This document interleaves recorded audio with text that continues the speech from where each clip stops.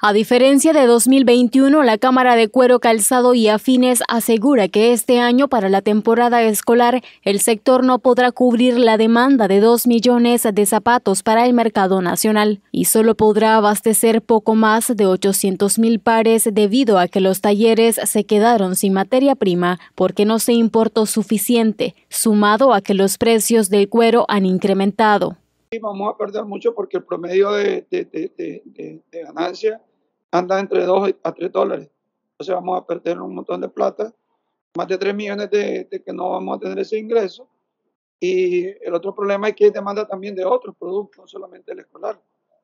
Tenemos demanda de las botas para los indios azucareros, tenemos demanda para la gente que está en los cortes de café, tenemos demanda para productos de exportación y no estamos pudiendo abastecer eh, debido a la parte de materias primas.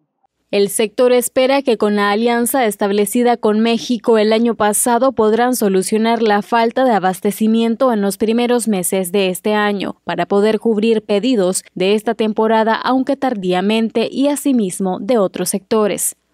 A ir a México ya a concretar la alianza.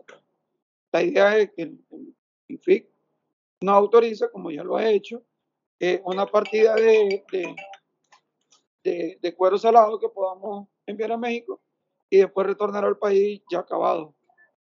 De una manera, pues, para la, la fabricación de calzado.